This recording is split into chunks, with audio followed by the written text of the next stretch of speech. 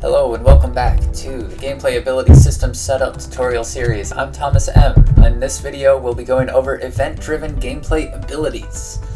So, we just created our damage execution in the last video, and we're going to do one more thing to the damage execution. We're going to have it fire events, and then if the player health is going to drop at or below zero from the damage done, we're going to fire the event die and then in the player, we're going to receive the event die, and then we're going to do stuff with it. We're actually just going to reopen the level and reset everything, start it over when we die. So without further ado, let's get to it.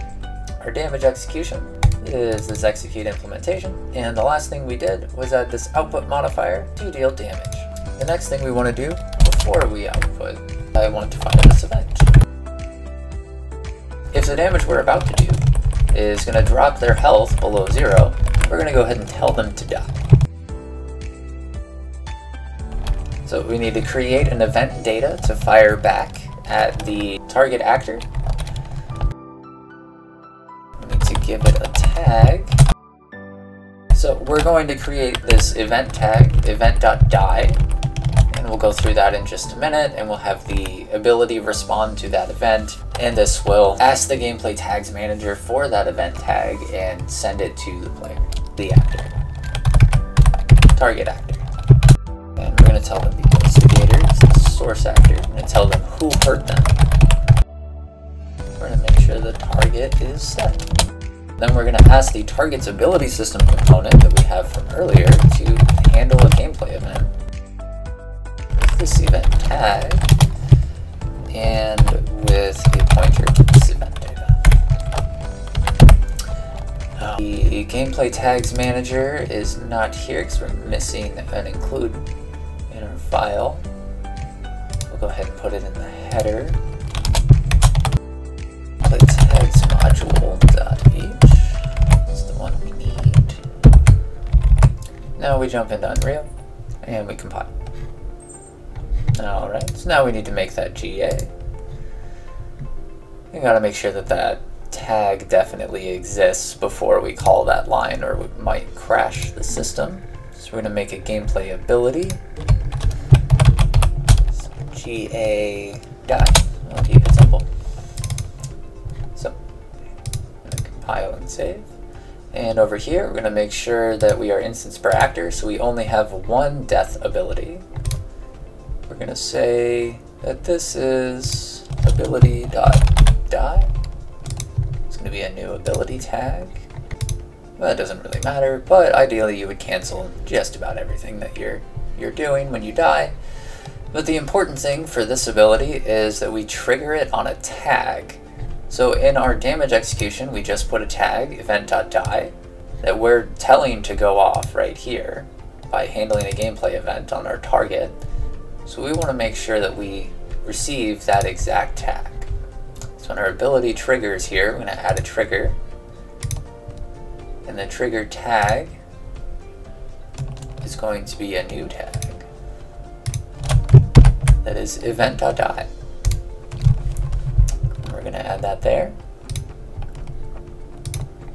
That's our trigger tag. And the source is a gameplay event. So you can trigger an ability when a tag gets added to the actor or anytime a tag is there. I'm not really sure how this present works. I know added works just fine, but for the most part, most of them are gameplay events. This one in particular is going to be a gameplay event.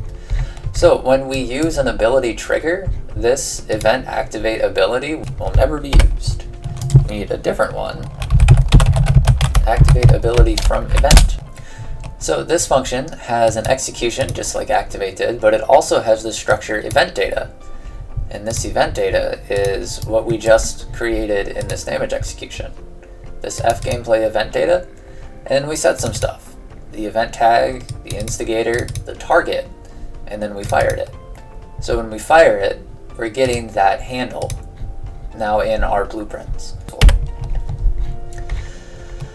So what we're going to do here is whenever we get this call die, all we're going to do is just open the level.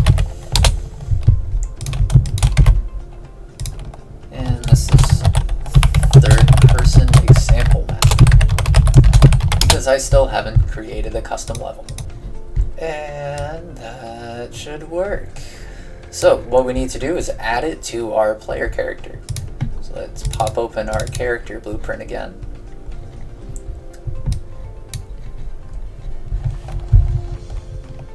And in our abilities,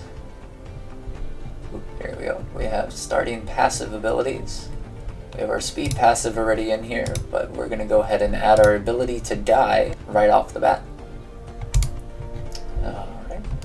And eventually this list will get huge. So uh, here's a, a pro tip for working with the ability system or in Unreal in general, I guess. So you can go over to your GA or any Blueprint class, you can hit this nice browse button, and that just highlights it in the content browser, wherever you're at. And then you can go over to the third person character and use this little button to just add it there. Browse and just bam, that's where it is in the content browser. It's very useful.